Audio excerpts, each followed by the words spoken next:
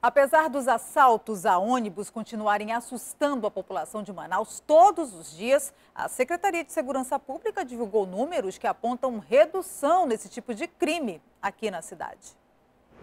Avenida Torquato Tapajós, 7 horas da noite. Este é o local e o horário preferido dos assaltantes de ônibus. Difícil é não ter alguém que tenha testemunhado um assalto desses. Edmir, por exemplo, já foi assaltado 28 vezes. É muito perigoso, principalmente essa linha aqui, o 560, o, o 356, essas duas linhas aqui é terrível. E aqui onde a polícia está aqui é estratégico, porque quando eles assaltam ali, eles mandam a gente ir por aqui, para o aeroporto, para cá. Ele se refere à Operação Catraca, realizada pela Polícia Militar. Alguns pontos de Manaus se tornaram locais-chave para a incidência do crime. A Operação Catraca ela visa justamente inibir a ação da, desses, desses marginais. A gente não vai conseguir 100%, mas o que a gente pode fazer, a gente está fazendo. Nesse trecho da mesma avenida, que dá acesso ao aeroporto, muitos coletivos são desviados do itinerário. É nesse momento que os passageiros e os rodoviários são agredidos pelos criminosos. Muitas vezes tem passageiro que nem são da linha aí, que a gente já conhece que são os passageiros, né? Entra no ônibus só para roubar, pô. Roubar, agredir motorista, agredir passageiro aí, agredir cobrador, entendeu? Apesar disso, a Secretaria de Segurança Pública divulgou um balanço sobre o mês de janeiro. Nele, a redução de assaltos a coletivos no mesmo período se comparado ao ano passado. Segundo a SCP, ano passado foram 259 casos de assaltos aos ônibus. Já esse ano foram registrados pelo menos 183, mas esses números dividem a opinião, principalmente dos usuários. A gente que pega o coletivo todo dia, quem, que volta para casa esse horário, a gente apoia bastante o, a fiscalização que eles estão fazendo. Porém, eu acho que não seria tão eficaz fazer nas avenidas principais. Por exemplo, o assaltante ele pode pegar lá para dentro, né? Porque a maioria dos assaltos acontece lá para dentro. Então, quase não tem policiamento para lá. Enquanto isso, as ações da polícia nos coletivos devem continuar, segundo a SSP.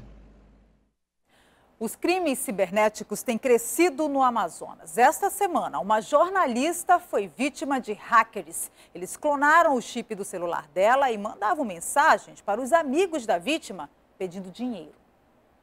O problema começou quando Kátia abriu o aplicativo de mensagens no celular. Os amigos dela começaram a receber pedidos de dinheiro para uma suposta compra de celular. A quantia? R$ 3.200. Foi quando eles procuraram a jornalista para saber o que estava acontecendo. Eu estou recebendo mensagem direto sua dizendo que você está precisando de uma quantidade de dinheiro. Mas você precisa desse iPhone agora mesmo. Mas por que, filha? Aí eu disse, não, eu não estou, eu não estou pedindo dinheiro.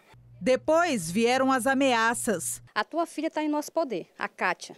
Então, se você não, não depositar agora, aí usou um termo de palavrões. Agora, na minha conta, eu, eu vou mandar ela aos pedacinhos para você. Segundo a Secretaria de Segurança Pública do Estado, no ano passado foram registrados mais de 1.300 crimes cibernéticos no Amazonas. Só em janeiro deste ano foram 87 casos registrados. Os crimes mais comuns são de ódio intolerância, contra a honra, falsa identidade e estelionato.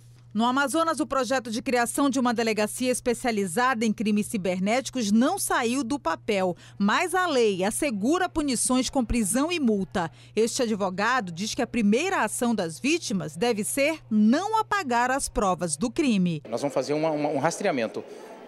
Printa as informações, printa aquela tela, né, imprime isso, tudo isso é prova documental que a gente pode juntar num processo, num eventual processo.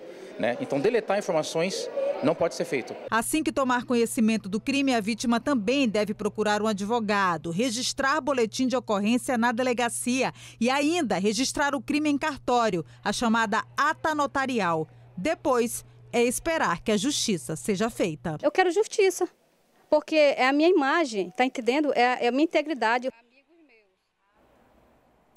Mulheres filiadas ao Partido Social Liberal realizaram hoje um encontro para comemorar o Dia Internacional da Mulher e também falar sobre a atuação delas na política.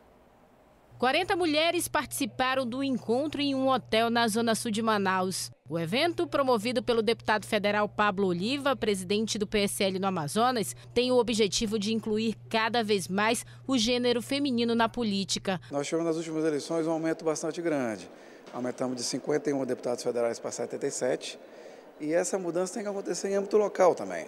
O momento agora é da mudança política regional e o Estado do Amazonas não pode ficar para trás.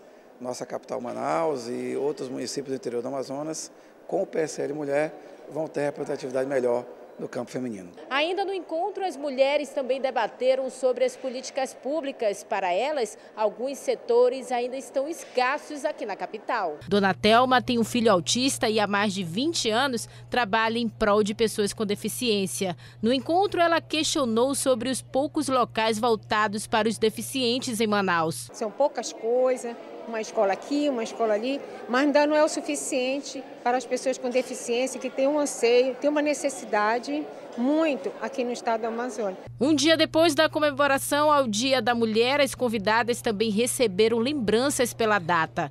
A meta é que mais encontros como esse sejam realizados em breve.